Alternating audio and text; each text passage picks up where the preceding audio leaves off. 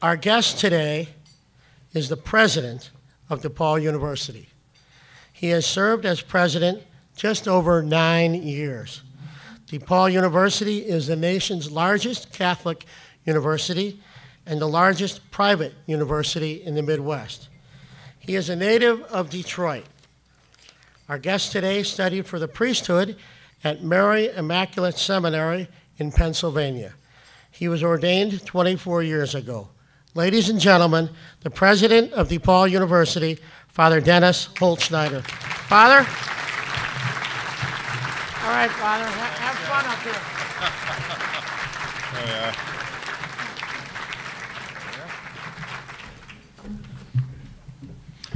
Well, good afternoon. As I said before, that's better than church. well, I want to thank you all for the warm welcome um, here and outside the door when I came in. I have. Uh, it was a. Um, it- it's Chicago at its best, and frankly, um, I'm I'm honored to be with all of you here today. Um, I'm actually not intending to speak directly about the subject that's being spoken about outside, but I will take questions on it at the end, and I'll save room for that. Um, but what I thought I would do today um, is uh, is address another subject, and that's the one that everyone talks about when they get kind of a quiet moment with their friends. Why do higher education costs keep going up? And they're right to ask that question. The cost of uh, four-year colleges, um, public four-year colleges, increased 22% over the past five years, even adjusted for inflation. Um, the cost of a private education in the U.S. rose 14% over that same time period, adjusted for inflation. Um, costs are going up faster than inflation. So I figured I'd uh, lift the hood of the car a little today and share a bit about um, what some of us talk about when we talk about this among ourselves.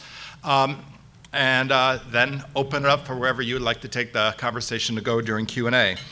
Um, there are two reasons, of course, everybody knows, so we'll dispose of them quickly. And the first is uh, Bill Bowen, of course, um, the economist, former president of Princeton and the Mellon Foundation, first explained this many years ago that when you have a labor intensive industry, it's mostly labor as far as costs go, the costs are always going to go up faster than inflation because other industries can actually cut costs by cutting human beings and they can they can switch capital for labor. And in fact, we've all watched that happen across many industries, don't we? That is not what happens in higher education. The heart of higher education is what happens in that classroom between a faculty member and a student. And we hire an awful lot of staff to educate our students, and so we are one of those um, institutions that fits Bill Bowen's theory that we are always going to be above the mean when it comes to that.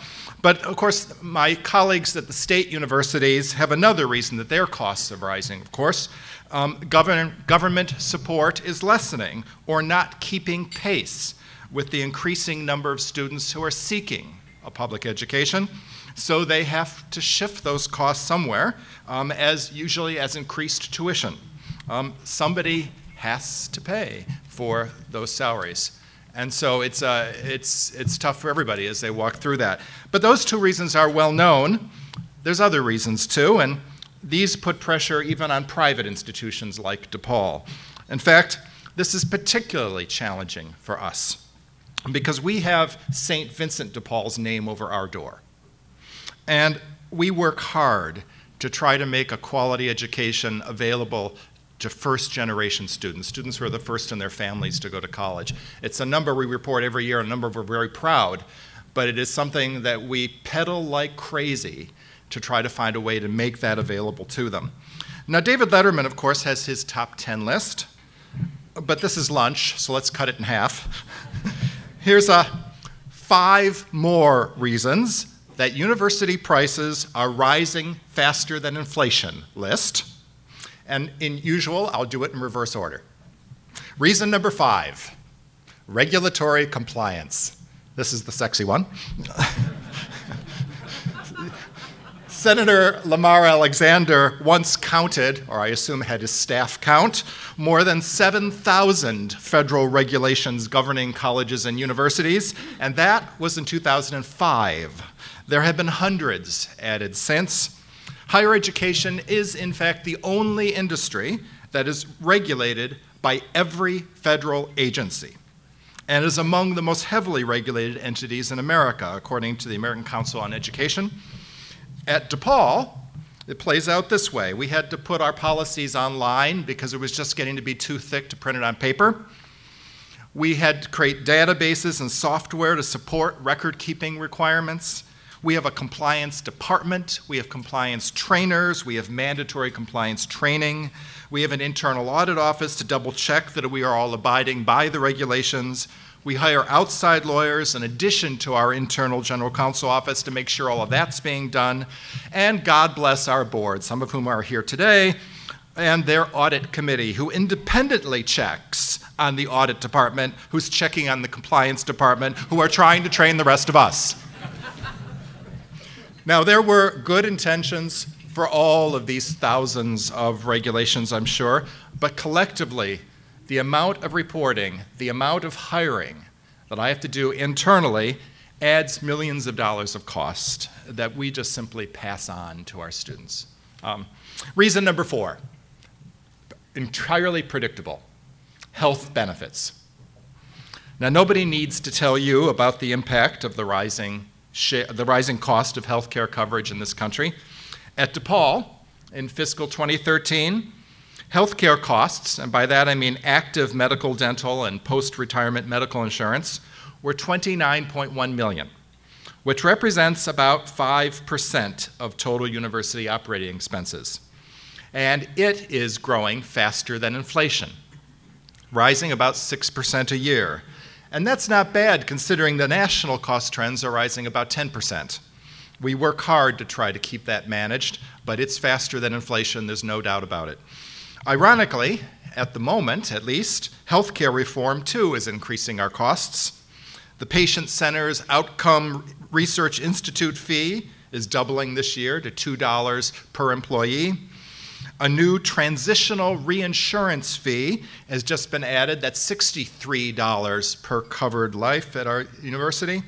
And further, unless we cut our employees' health benefits, DePaul will need to pay the government roughly half a million dollars or more for having a more generous plan than the, than the government considers standard. All of this we have to pass on to our students. Reason number three technology. Now, many people assume that technology is lowering costs, the same as it is in other industries, such as manufacturing. That simply is not true in higher education. Every square inch of DePaul is wireless. Every classroom is a smart classroom. Nearly every student brings a laptop or a tablet, which means we have to staff service to help tie those laptops into our systems and then fix them when necessary. We're the largest, DePaul is the largest graduate school of computer science in the nation. And we provide 45% of Chicago's four year and graduate computer degrees. And to operate, we need more storage than 22 libraries of Congress and more bandwidth than Google. We're constantly upgrading our equipment, our generators, our cooling systems, our security systems, our software, and we're protecting ourselves from a billion attempts to hack into our system every day coming from all over the world. And yes, I said a billion a day. Last year, 9.4% of the full time jobs at DePaul were technology related. Support positions, perhaps, but technology related. And nearly one in every $11 is now spent on their salaries. Costs for equipment and services represented 13.8% of non salary spending, nearly one out of every $7 spent. Together, our IT costs are growing at 7% per year, above inflation. You're hearing a pattern as we do each of these, right? So, what's happened is that our education and our services for students have gotten better, but not cheaper. Our advising, because of the new tools, is light years better than it ever was. Our course scheduling is better. Our ability to tell transfer students exactly what they'll have to take is nearly instantaneous. Our mathematics education is better. Our language instruction, science education, our writing programs are all vastly improved because of the, the technology and the software we can use in the classroom. Our investing and finance programs have the same tools as professionals in the field. Our law students have everything at their fingertips that the finest legal firms um, would have. Our film students, our sound recording majors are working with the latest cutting edge technology. Students are getting an extraordinarily better education these days, but not a cheaper one. The new tools are amazing, but they don't save cost. They add cost, which means they add tuition. Thankfully, because of our large size, the ratio of DePaul's IT funding to student is less than many universities nationwide. Our ratio falls around $750 per student, whereas other universities spend somewhere nationally around 1,250. But let me assure you, there is nothing cost saving about technology, at least in the higher education sector. Reason number two PhD programs. This one might surprise you. There's been a proliferation of doctoral programs over the past few decades to the point where the number of PhD students that we have in our nation today outpaces the number of jobs available to them on graduation. You'd think, well, sooner or later the market will correct. If students can't get jobs, or in this case, the right jobs, they'll stop signing up and universities will have to cut their programs. That doesn't happen, though. And the reason is because universities don't generally put the full cost of their doctoral programs on their doctoral students. It's one of the little secrets in American higher education that the costs of PhD programs are largely borne by undergraduate tuition. There are fortunate universities, of course, that have found ways to fully fund all of their PhD programs through endowment gifts, but far less than you'd think. PhD programs are just expensive. The faculty command higher salaries, they teach far less, only one or two courses a year sometimes, necessitating the hiring of more faculty per student. They require specialized libraries and librarians, laboratories, research centers. They often lead research centers, further reducing the time spent teaching and raising the, the number of other faculty who must be hired per student. There is some research grant money from the NSF and the NIH for limited areas of scientific research, but otherwise, universities frequently assist faculty with research costs, as well as costs to send them to professional conferences all over the world. Doctoral students sometimes contribute for providing teaching or research assistance, but the great bulk of the costs get paid from the university's general kitty, which is largely funded by undergraduate or in some cases the master's students. Why do universities build then more PhD programs than are needed? Because they're in desperate search for the prestige factor. And more immediately, because those programs can serve magazine rankings. A number of the other, a number of the criteria for higher magazine, for, for magazine rankings are directly related to the expenditures that are made for PhD programs. Now, DePaul decided a number of years ago to cap the number of PhD programs that we offer for exactly the reason that we didn't want to put pressure on the younger students who shouldn't have to pay for them. We run five in nursing, education, computer science, uh, philosophy, and psychology. And we'll soon announce a sixth. We keep them small, we keep them highly competitive, and that makes them highly sought after programs while minimizing the costs that we have to shift from others to pay for them. But that's not the case nationally. Reason number one the research function. Last year, the Davis Educational Foundation asked 70 college and university presidents what is accelerating the cost of education? One of the top answers teaching load. Teaching loads do vary greatly from university to university, sometimes as high as 9 or 10, sometimes as low as 2 or even 1 course a year. Whatever the usual load, there are opportunities to lessen it further through leaves, taking on administrative projects, buying out time for research. The truth is, teaching loads have been quietly and unperceptibly going down for decades now. The reason for this is that our faculty are expected, ever increasingly, to produce important research or creative activity in their professional fields. We require it for promotion, we believe it's good for the students to be taught by those who are actively producing knowledge in their fields, and that it's good for faculty to stay alive and current throughout the arc of an academic career. But make no mistake, this has a cost. The less faculty teaching, the more faculty who must be hired per student. And as faculty hand off traditional advising duties, staff have to be hired to do the advising, another clear trend in higher education. People often think that university research must be paid by government or corporations or large foundations, and that happens still, but mostly in specific scientific fields or in shifting areas of social concern. But for the most part, the costs of faculty research are borne by the students. In the end, the single largest cost driver in any university is salaries. And the primary activity driving the number of faculty per student is an institutional decision on the amount of research that it will expect from its faculty. It is another of those little secrets of American higher education that the research function is largely supported by student tuition, not outside funding.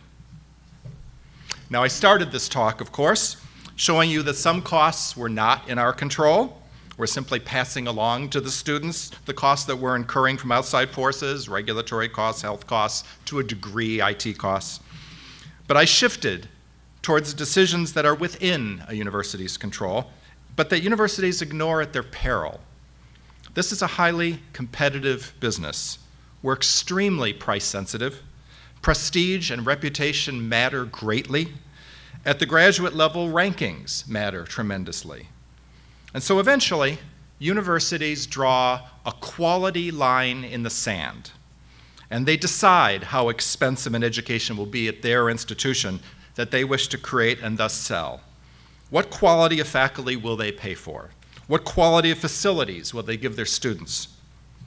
More often than not, DePaul has decided in recent years to invest in the quality side of faculty and facilities, but stay conservative on the teaching load and the PhD programs. We've tried to remain disciplined there so we can keep student costs in check. We pursue partnerships wherever we can, something I suspect you'll want to ask me about in a few minutes. But we're not cheap. We made a decision too about the level of quality that we want to provide our students, and we let our students decide whether they want to pay the costs associated with that level of quality. It's the classic decision, isn't it? trying to find the sweet spot in the market where excellence and achievable price point coincide. In the end, it's a value proposition.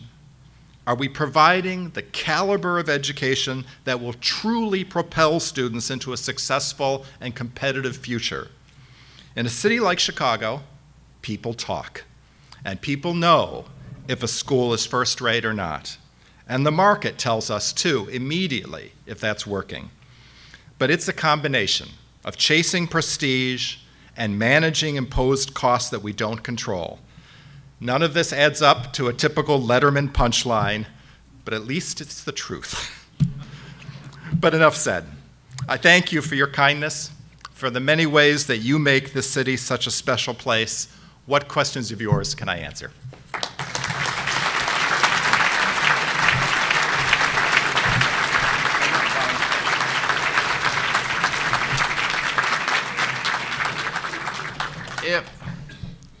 If you have a question, just raise your hand, and one of our City Club well-paid uh, uh, interns will. Uh, by the way, Father, no one ever got tenure because of university service. I just, I'm speaking for the faculty on that one. Right, Mr. Donovan? Damn right. Okay, bef- before we ask these critical questions, we have to introduce some people that we missed. Direct from his uh, spectacular show on uh, with Mike Flannery, State Senator Kwame Raoul. Kwame, raise your hand. There you are. As we said before, you got a lot of free time because there's no crisis about that pension thing. We know that. Uh, we have uh, Alderman Michele Smith from the Fighting 43rd. We got Alderman Scott Swansenbook from the Fighting 32nd. Where are you, Scott? Right there. And someday I'll pronounce your name correctly. It's, it'll be a while. If you ran for mayor, by the way, it'd be easier. Um, and the former Fighting 43rd Alderman, Vi Daley. Okay. Questions are flowing in. Okay, here we go. Uh, Alderman Smith, 43rd Ward. Always give them a. What want to comment about DePaul neighborhood and partnership with the community? Okay, Wide enough for you to. thank you. DePaul is in several of communities of Chicago with our different um, different um, uh, campuses and involvements. Um, but of course, uh, our our we often point to our relationship in Lincoln Park as a long established relationship of how we like to work together with the community. And so you've watched over the years as we've built um, new classroom buildings and art museums, and now the new theater school that just was um, went up several weeks ago, um, literally designed with community leaders and changed constantly. Um, we're on a conversation right now of how to uh, how to think about the use of uh, Kenmore Street. That uh, continues to be part of a conversation. We tend to take our time with these things and try to see how they can be improved. And truthfully, we probably wouldn't have the art museum where we have it except for the community talking to us about how they wanted that neighborhood shaped. And some of the designs have turned out better. Um, so it is a, it's, we've learned over time it's been worth our time as a university to spend time with the community and let them um, shape our own plans. And that's, that's been a long thing. So I'm not sure if that answers your question or not. Actually, I want to make a comment about it, Oh, fine. which was to thank DePaul, because DePaul has really been a leader in the city on how to be a good neighbor and have good community relations. Uh, I don't know how many of you know right now DePaul University is helping with our overcrowding at Lincoln Elementary School by providing classrooms in their School of Education for elementary school students. And I really want to express my gratitude on behalf of the fifty-five thousand people of our neighborhood. And I think others. Thank you. And I think other institutions in our city could really uh, learn from the example of DePaul in working with the community. So really, I want to say thank you. Thank you very much. And I'm enjoying the irony right now. You want to call it a day after that? All right. Uh, we have a lot of questions on the same subject, so I'm going to save them to the end so our friends out there can keep chanting. Elizabeth Clements asked a very good question. Where are you, Elizabeth? All right, very good. I've tried. I've read that some. I've read that some media are questioning the value of a college degree. How dare they? What do you think? Is a college degree worth it? Now that is the legendary softball. Uh, well, a DePaul one certainly is.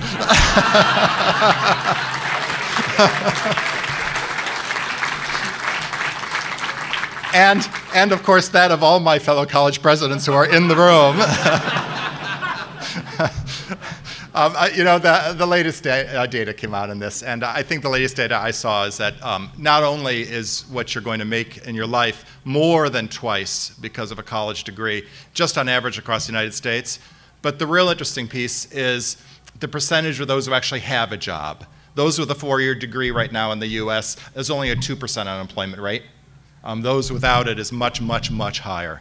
Um, so it really comes at both. It is still very true that a college degree makes all the difference.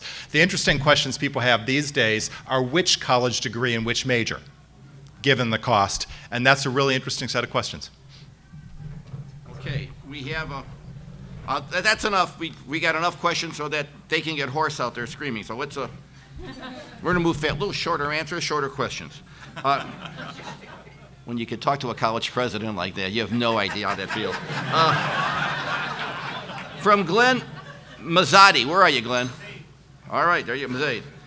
uh, RBS citizens, what, what are the educational expense allotted to online courses? Uh, you know, is this going to be uh, the future? To a degree, it's, it's, um, it's definitely under development. There are some subjects right now that I think are taught exceptionally well with some of the new electronic tools that are available, and many subjects right now that are not. And so we are, we are early in the development of something that's going to be very interesting to watch. And DePaul has made a just kind of a steady commitment. We're about 10% online now, and we're moving up piece by piece. Um, but we're trying to do it on the side of only taking the pieces that we think are at the quality level where it's the same as in person. But this, uh, this is a, a watch and stay tuned kind of a thing. We have a couple more before we come to the one that most of the questions are about, and that'll be the long answer. Uh, Lynn, Sophronic, is that close enough? Close enough for me. DePaul just opened a new theater uh, ju just opened a new theater, school building in its Lincoln Park campus. Does the university have any other development planned on that campus? I think that um, uh, the one project you all know, of course, is, um, you know, I think your question's coming up next. I think that the one project we have that's going to be looked at in Lincoln Park is simply something for our music school. It's now ranked one of the best in the country, and we're going to try to get it out of its office building and into proper facilities that actually are, are, right for the training musicians. But we have some more fundraising to do. We try to do things without adding tuition dollars to the students, and so we're in fundraising mode at the moment, and I look forward to being able to move that project forward in time. Shall we get to the question one more, we're all we waiting? We have one more because, despite what they say, this is the City Club where we give everybody a chance, including a different university. Uh, Bill Laird, where are you? Loyola University. Private universities with small endowments but have the mission to educate the poor have a specific financial challenge. How does DePaul view this matter?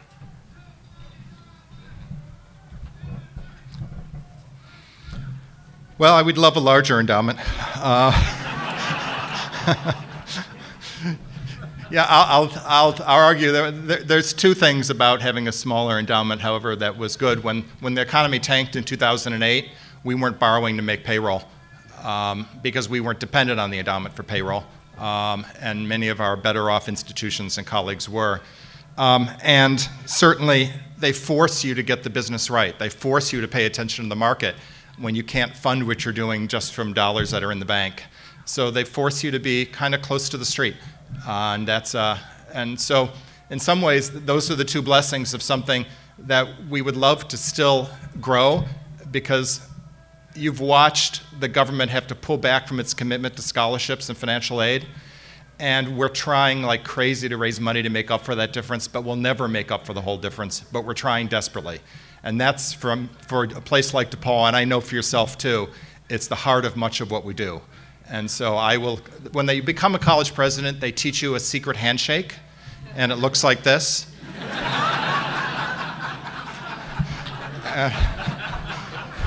and you can be sure we'll all be using that. So thank you.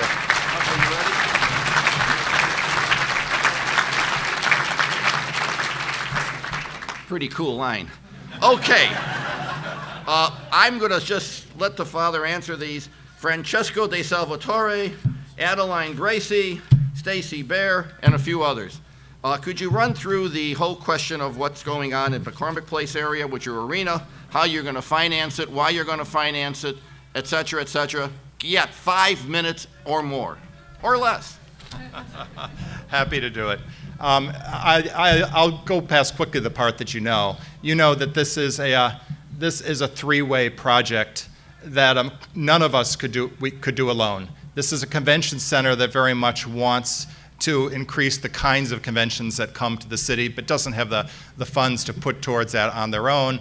This is a city who is actually very ambitious to bring conventioneers to the city, to, br- to bring their income to town, and then being able to fund things that the city cares about. And of course, it's a university that's looking for a home for our team. Um, none of us would do this if we were on our own, but the, putting our resources together in three ways, suddenly something becomes possible for all of us. The piece that I think that's sometimes misunderstood is DePaul's going to use this facility about 30 days a year. Well, exactly 30 days a year. That's the contract, the terms. Um, probably not even whole days. And we're going to put in a third of the cost of its construction, and then we're going to pay full rent every day we use it. So you can ask me if I had the right people negotiating for DePaul. Uh, but I can assure you um, that there's, there's, no, there's no way that when people accuse DePaul of having um, somehow received benefit financially from this, that's the case. I think, if anything, DePaul's been generous to Chicago. But truthfully, none of us could do this without each other. Um, you know, the, there's questions, of course, about the use of TIF funds. That's, that's the heart of what you're hearing outside.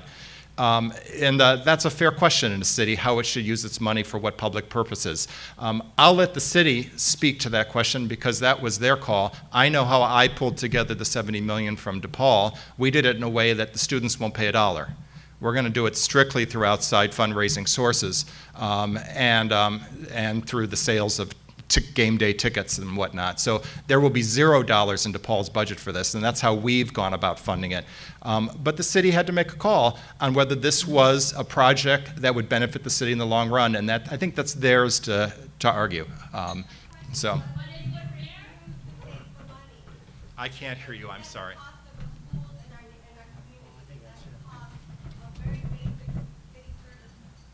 I,